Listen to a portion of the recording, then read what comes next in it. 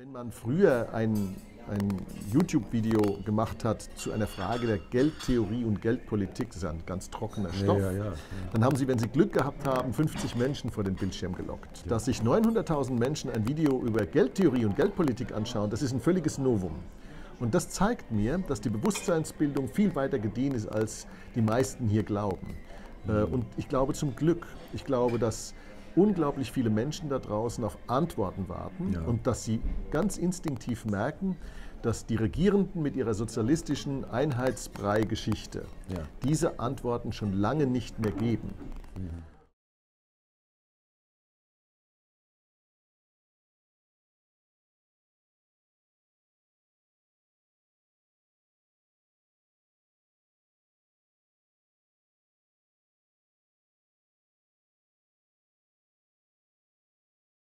Was könnten Sie hier unseren Leuten ähm, empfehlen, in, wel in welchem Land sie sich vielleicht ein Refugium aufbauen? Wenn hier der Chaos ausbricht und, und irgendwelche gesellschaftlichen Verwerfungen, dass man sich erstmal und seine Familie in Sicherheit rettet. Und äh, gibt es da irgendwie in Nähe, wo man nicht unbedingt hinfliegen muss, irgendein Land, wo man sagt, ja, Also da die Europäische Union ja als Ganzes betroffen sein wird von dem Problem, denn das Zombie-Problem ist ja ein Euroland-Problem und kein deutsches.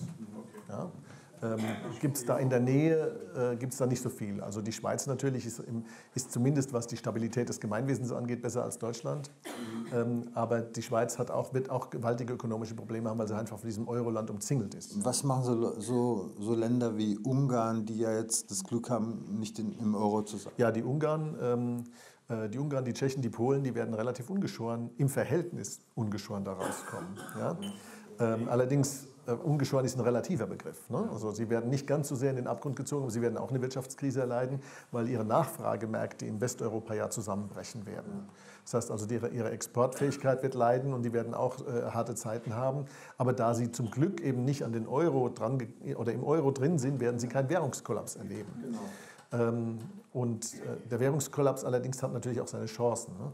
Ähm, und die Frage, ob das zu gesellschaftlichen Unruhen führt, die kann ich schlecht beantworten. Es hängt von auch weiteren Variablen ab, die sehr schwer zu prognostizieren sind. Aber denkbar, denkbar ist es. Prognosen sind ja, dass äh, in Afrika ähm, da immer mehr Leute noch äh, dann hierher kommen. und äh, das, das Problem der gesellschaftlichen Stabilität ist ja nicht nur ein finanzielles. Und da hat ja unsere Regierung nun wirklich absolut nichts ausgelassen, um dieses Land weiter zu destabilisieren.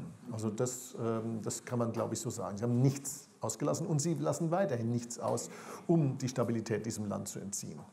Ähm, Im Grunde genommen ist das ähm, eine Sache, äh, wo, man sagt, wo man sagen muss, ähm, äh, irgendwann sollte auch Inkompetenz strafbar sein. Ja? Ähm, denn wenn man jetzt sagt, okay, in der gesellschaftlichen Auseinandersetzung gehen alle Menschen, die irgendwie vernünftig sind, äh, ins Ausland, dann überlassen wir dieses Land äh, dem sozialistischen. Land haben Sie noch irgendwie einen Wohnsitz? Ja, ich ich habe ich hab einen Wohnsitz im Ausland, ja, aber schon lange, also schon seit 2004 ja, äh, in, in Spanien, auf Mallorca. Ja, und ähm, ja, das ist auch nicht verkehrt. hätten Sie den noch nicht? Wenn ich den noch nicht, wenn ich, ja, vielleicht schon, ja. Möglicherweise schon, weil so eine Insel ist immer eine vorteilhafte Sache. Ja? Allerdings ähm, werde ich Ihnen eins sagen, wenn es hier zur Auseinandersetzung kommt, werde ich wahrscheinlich die Zeit nicht auf der Insel verbringen. Ich habe nämlich absolut nicht vor, meinen Kindern ein unfreies Land zu hinterlassen. Äh, Ich engagiere mich politisch in Deutschland. Und ich glaube, wenn wir also, wenn es zur Auseinandersetzung kommt, ähm, dann ist es gut, ein Refugium im Ausland zu haben, weil man nicht weiß, ob man die gewinnt. Aber führen müssen wir die.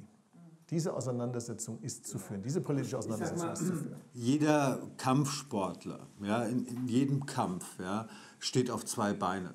Und manchmal ist es so, dass er das vordere Bein äh, entlasten muss, äh, wenn das einem gerade weggetreten wird. Dann macht es Sinn, auf dem hinteren Bein zu stehen. Und wenn es vielleicht vorne wieder weitergeht, sein Schwerpunkt wieder nach vorne. Aber es braucht zwei Beine. Ähnlich ist es ja auch mit der Kapitalanlage. Wie sichert man sein Vermögen? Wie, wie stellt man sicher, dass man ähm, ökonomisch nicht ähm, ja, vor, die, vor die Pumpe läuft in dieser Situation? Und ähm, das ist auch, hat auch eine gewisse Komplexität. Ja?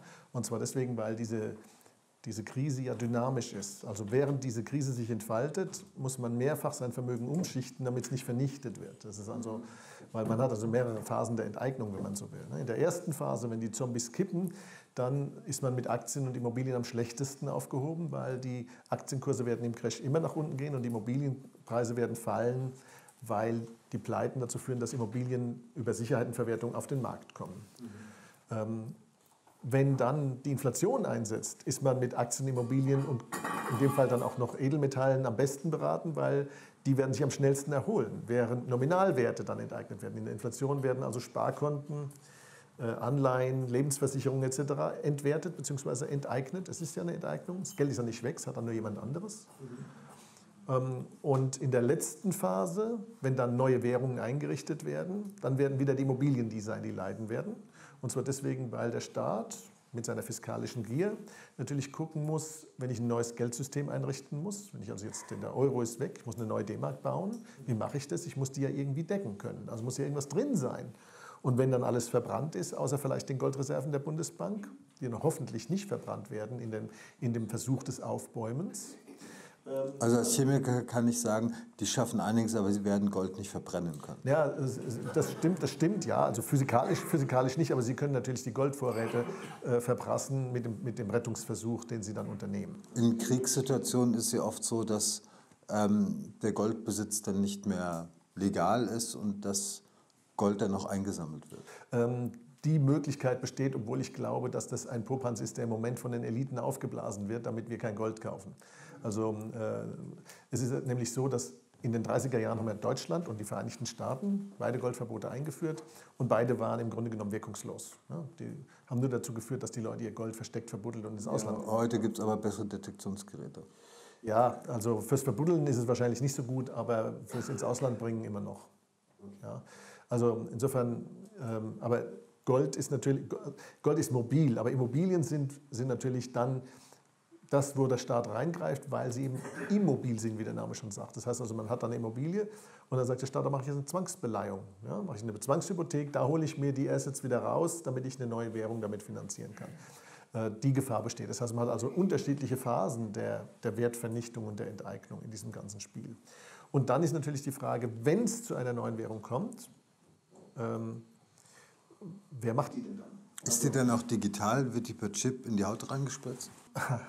Das ist natürlich der Wunschtraum der Sozialisten, mhm. ja, die total überwachte Bevölkerung zu haben. Ähm, das ist auch so, wenn Sie sich anschauen, so die Frau Lagarde, die ja jetzt den, äh, die Klimapolitik zum Ziel der EZB, der EZB erklärt hat, also muss man, da muss man mal drauf kommen, ähm, äh, in, einer, in einem Anfall von Hybris das können Sie natürlich nur machen, wenn Sie die totale Kontrolle über, die Geld, über alle Geldbewegungen haben. Da müssen Sie das Bargeld für abschaffen, da müssen Sie das digitale Geld einführen. Dann können Sie uns überwachen. Und wenn wir nur ein paar Gummibärchen kaufen, weiß das der Staat 20 Jahre später immer noch. Ja, von ganz anderen Dingen ganz zu schweigen. Das heißt also, hat uns voll unter Kontrolle dann. Das ist der Wunschtraum des Totalitarismus. Diese, diesen Film, der heißt In, In Time. Kennen Sie den? Kann sein. Da hat man irgendwie seine restliche Lebenszeit irgendwie ja, den kenne ich. Dann, dann wird er irgendwie abgebucht. Ist das so ein Szenario, was die sich vielleicht so in ihren ähm, feuchten Träumen vorstellen? Also das ist natürlich äh, die, ich sag mal, die Totalitären äh, würden sich das natürlich wünschen, dass sie das könnten. Äh, wobei man ähm, ihre Energie der totalen Kontrolle und auch der Genozidalität nicht unterschätzen darf. Ähm, man muss nämlich eins sehen, dass es, es, gibt einen, es gibt einen Motor der, des, des Kontrollwahns, der Planwirtschaft und all der sozialistischen Experimente, die wir immer wieder alle zwei Generationen so sehen, der nicht erst irgendwie 1840 mit dem kommunistischen Manifest entstanden ist. Wo übrigens mehr oder weniger drinsteht, dass das Ziel ist, die Menschheit zu versklaven. Und zu vernichten. Also es äh, ist also äh, den, im Briefwechsel zwischen Marx und Engels kommt das ja immer wieder raus. Also Menschen äh, müssen zwingbar sein zu arbeiten, wo immer sie wollen. Also, den, Briefwechsel zwischen, den Briefwechsel zwischen Marx und Engels, über den Schafarewitsch äh, geschrieben hat, äh, den kann man auch nachlesen, wo die beiden sich darüber unterhalten, dass es eigentlich wünschenswert wäre, wenn überhaupt keine Menschheit da wäre. Ja. Ähm, die Genozidalität des Sozialismus ist kein Zufall. Ob er nationaler Sozialismus oder internationaler Sozialismus ist, die beiden unterscheiden sich vornehmlich in der Frage, wer beraubt und ermordet werden soll. Und dieser Motor ähm, der Genozidalität, der äh, die Mächtigen, vor allen Dingen die inkompetenten Mächtigen immer wieder antreibt und in den, in den Kontrollwahn treibt, äh, weil anders sozusagen können sie ihre eigenen Fehler ja nicht korrigieren, als dass sie aus der Masse noch mehr rauspressen, bis eben nur noch das nackte Leben übrig ist und dann wird auch das noch genommen. Äh, der ist es inhärent darin. Das ist, ein, das ist, eine Menschheitskonstante seit, seit mehreren tausend Jahren. Also es gab es auch schon vor den Sozialismusbewegungen da. Ähm, vorher waren es die Jakobiner und wahrscheinlich schon vor den prähistorischen atomaren Krieg. Ähm, Kleiner Spaß. Die gab, weiß ich nicht, aber äh, Schafarewitsch zeigt, dass es bis, in die bis, bis ins mesopotamische äh, äh, in Hochkulturen äh, zurückging. Und bei den Inkas gab es das auch. Ja. Ähm, was die wenigsten wissen, die Inkas haben ja alle Menschen uniformiert und in Kasernen gepfercht und die dürften keine Werkzeuge und keine Waffen besitzen und Meinungsabweichung war ja bei Todesstrafe verboten. Es war ein vollsozialistisches System, mhm. Äh, der, der Inka-Staat. Ähm, und der hat äh, so lange funktioniert, bis sich sozusagen irgendein konkurrierendes System dann in das, in das System eingedrungen ist. Ja? Mhm. Also das ist eine Menschheitskonstante. Die Sklaverei, der Versuch, Menschen zu versklaven, ist eine Menschheitskonstante. Und die sehen wir jetzt erneut. Der Versuch, diese totale Kontrolle über das Geldsystem und damit über unser Leben zu gewinnen, ist Teil dieser Konstante. Und zwar müssen Sie sich vorstellen, das Geldsystem ist mehr als nur irgendwie das, was Sie sehen mit 50-Euro-Scheinen und dann gehen Sie da hin und bezahlen damit. Das ist nicht das, was das Geldsystem eigentlich ist. Das Geldsystem ist eine Matrix, durch die wir unser ganzes Leben bewegen. Und wenn diese Matrix gesteuert und manipuliert werden kann, dann, dann erlangt man Kontrolle über uns. Ja? Unser gesamtes ökonomisches Verhalten wird durch das Geldsystem gesteuert. Wir bewegen uns dadurch. Und zu sagen, das Geldsystem zu verstehen und die Art und Weise, wie die Mächtigen uns jetzt nicht erst seit heute, sondern schon ganz lange mit diesem Geldsystem ausplündern und ausbeuten. Ja? Mhm. Das ist keine Frage der Verschwörung, das ist eine Frage der, einer konstanten, einer, einer Menschheitskonstanten, einer Geschichtskonstanten, die uns begleitet hat wie Tag und Nacht. Und äh, zu sagen, ich analysiere das Geldsystem in seiner Auswirkung auf unser Leben, ist die rote Pille einzunehmen. Ja. Äh, Sie müssen sich vorstellen, dass in diesem Geldsystem, das wir haben, dass dieses Geldsystem eine gigantische Umverteilungsmaschine ist. Die größte, die es je gab auf dem Planeten. Am Ende vom Tag landet das Geld hier wie gesagt, bei diesen ganz wenigen sehr, sehr wohlhabenden äh, Familien. Die Prozent Promille.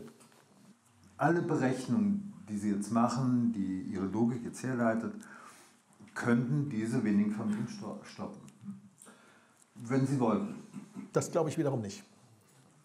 Selbst wenn Sie es wollten, können Sie es nicht. Also wenn Sie dieses, wenn Sie dieses Karussell jetzt stoppen wollen, ja. dann müssen Sie eine Vollbremsung hinmachen, dann haben Sie den Crash sofort. Ähm, also sie kommen aus, mancher, aus manchem Ungleichgewicht kommen sie eben ohne eine Bereinigungskrise nicht raus. Das ist ein Vehikel, um unsere Finanzwirtschaft endgültig in die Sowjetisierung zu führen, also in eine komplette Kontrolle, staatswirtschaftliche Kontrolle. Das, das ist ein Versklavungsprogramm, völlig klar. Der Klimahype ist ja das Neueste. Und der Klimahype muss jetzt für alles herhalten. In Wahrheit handelt es sich hierbei um ein Programm zur Enteignung, nichts sonst. Und das Neueste, was wir jetzt sehen, ist Sustainable Finance. Sustainable Finance klingt erstmal ganz toll. Grüne Investitionen werden gefördert, braune Investitionen werden bestraft. Also Kohlekraftwerke werden jetzt abgestraft mit höheren Zinsen und Windrädchen werden belohnt mit niedrigeren Zinsen. Aber worum geht es in Wahrheit? In Wahrheit geht es darum, sich ein Instrumentarium zu schaffen, bei dem man in diese Systeme der Banken und der Finanzmärkte reingreift und jeden einzelnen Kredit, jeden einzelnen Kredit, der vergeben wird, auf die Frage hin steuert, ob er politischen Wünschen entspricht. Das kann das Klima sein, muss aber nicht. Das kann auch was ganz anderes sein. Das kann Gendergerechtigkeit sein oder äh, was Sie wollen. Also Sie können jedes politische Ding jetzt da reinpacken.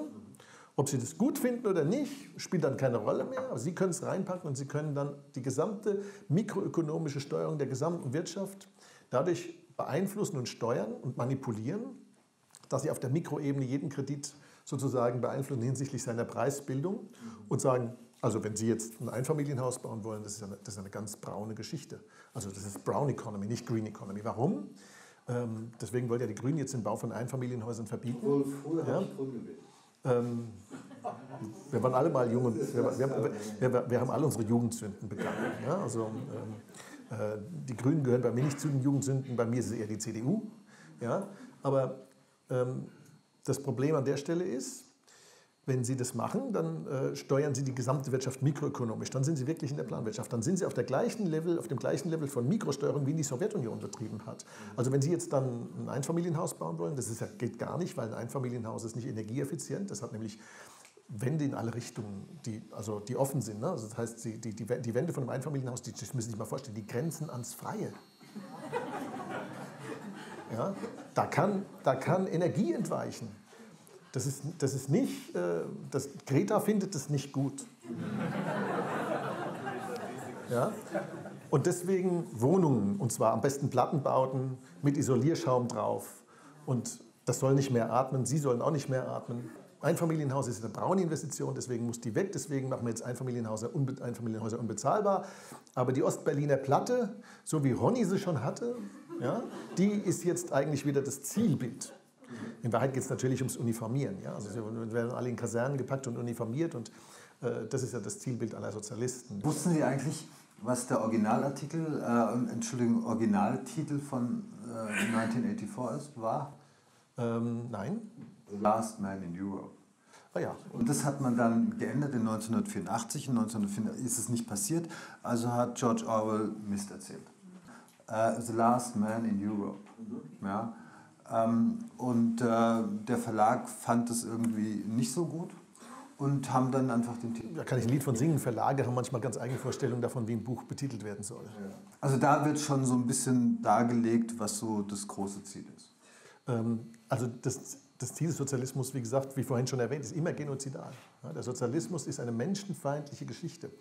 Und wenn Sie sich mal die Geschichte des Sozialismus anschauen, dann greift der Sozialismus immer die fünf Grundsäulen der Zivilisation an.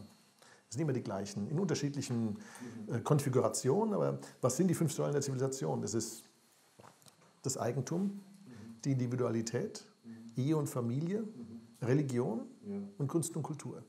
Auf diesen fünf Säulen steht die Zivilisation. Und deswegen hat der Sozialismus und alle seine anverwandten Ideologien eine Feindschaft dagegen. Warum gegen das Individuum? Weil, das, weil der Sozialismus überhaupt anti-individuell ist. Die Masse ist das, was zählt. Die Familie ist ganz schlecht, weil sie, das, weil sie das Individuum schützt und einen Schutzraum bietet vor der Allmacht und Allgewalt des Staates. Das Eigentum muss weg, weil das Eigentum die einzige Voraussetzung ist, damit sie nicht in die totale Abhängigkeit vom Staat kommen können. Wenn es kein Eigentum gibt, sind sie auf Gedeih und Verderb auf die Bürokratie und auf den Staat angewiesen. Ja?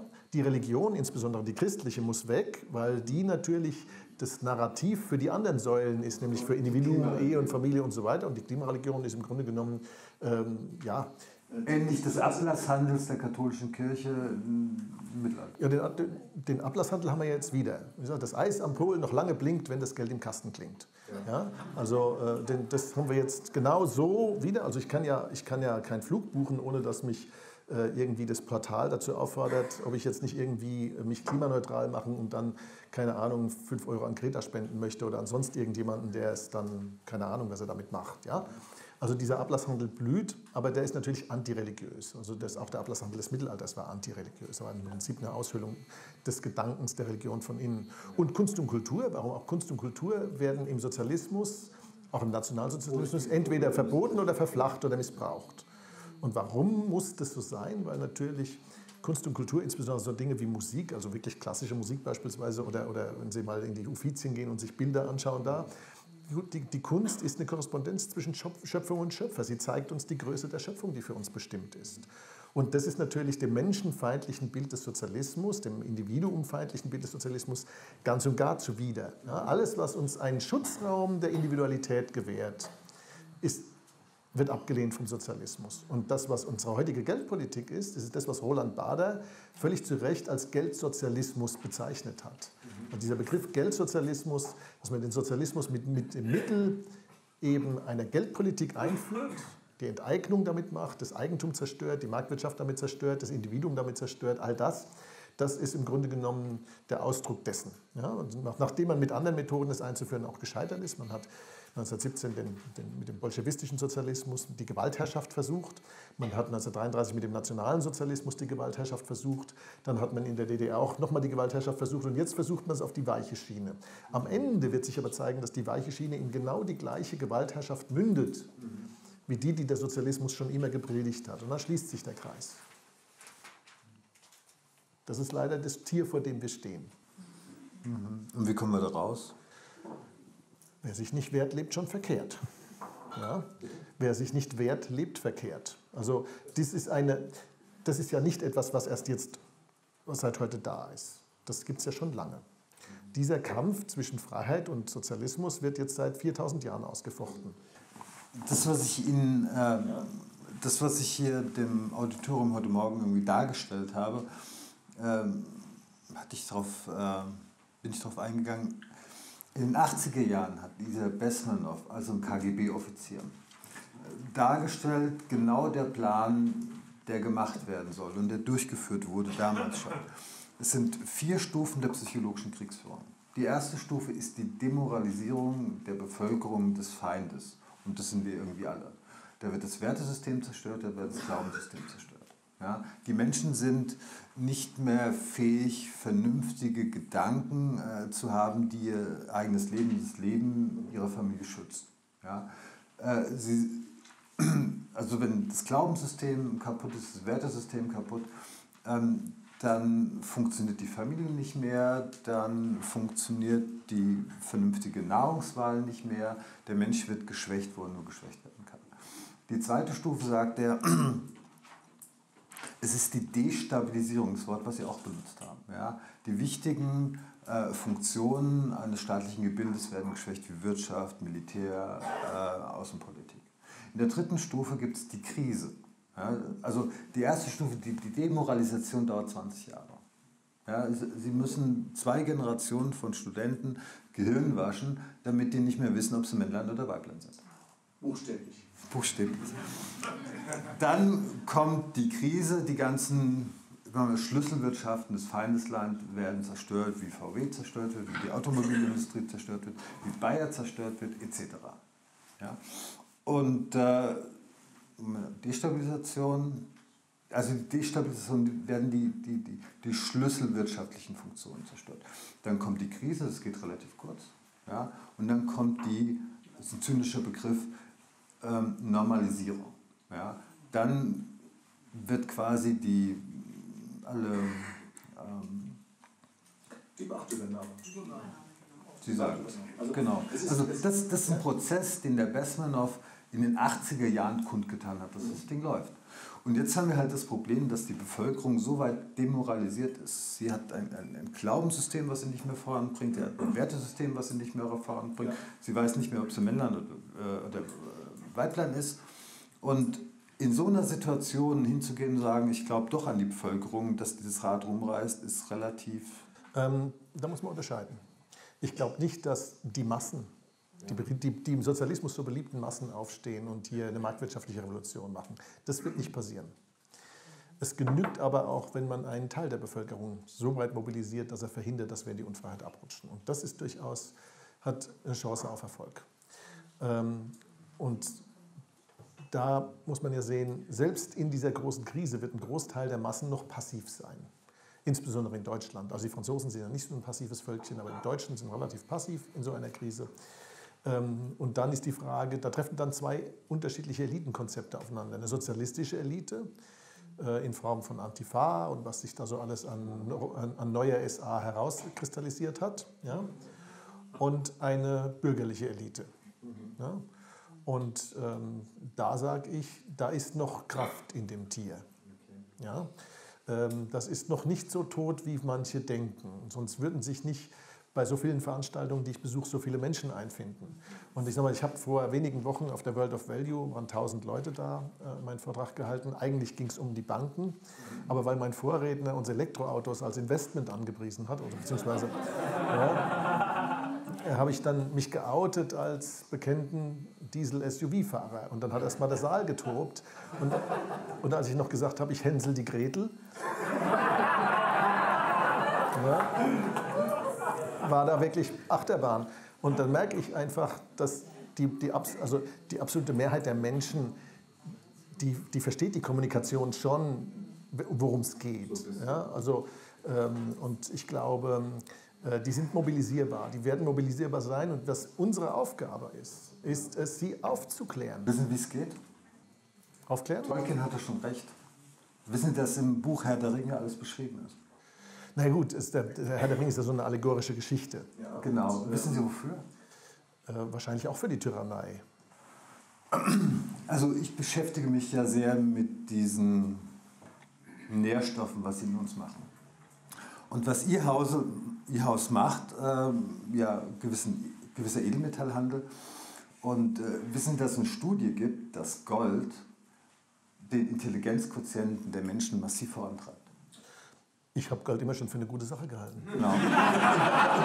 Und ich, ich, darf, ich darf Ihnen jetzt kurz erklären, wieso Gold auch und andere Edelmetalle immer wertvoll sein werden. Ja? Also es sieht sehr danach aus, dass Gold so eine Art atomares, molekulares Gehirn unserer Gehirnzellen sind. Wie im Großen so im Kleinen, alles holographisch aufgebaut. Und äh, wenn das Gold in der Nahrungskette fehlt, ja, können gewisse intelligente Strukturen in unseren Zellen nicht mehr aufgebaut werden. Aus dem Grunde die Allegorie im Herr der Ringe, du musst den Ring, den Edelmetallring, wieder in den Schicksalsberg werfen, ihn damit wieder der Erde bioverfügbar zur Struktur, äh, strukturierbar äh, machen, um ihn dann über die Humusschicht, über die Bäume, die Humusschicht in die Nährstoffpflanzen reinbringen. Und damit das Gold, die Edelmetalle wieder in die Gehirne der Menschheit darf und damit die Orks letztendlich, wenn sie wieder denken können, aufwachen, dehypnotisiert werden und ihr Schicksal wieder in die Hand nehmen. Also ich verstehe natürlich zu wenig davon, von dieser ganzen äh, Gehirnchemie-Geschichte. Das, das, ist leider nicht mein Fach, aber wer bin ich, dass ich Ihnen da widerspreche? Na, Clever mal.